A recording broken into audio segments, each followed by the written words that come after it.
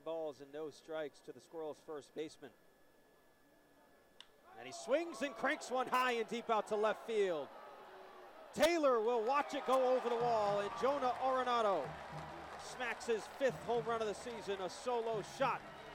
And that puts the Flying Squirrels up three runs. It is four to one.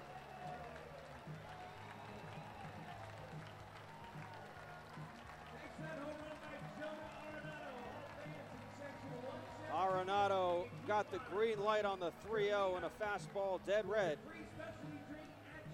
Put that one over the left field wall for his fifth home run of the season.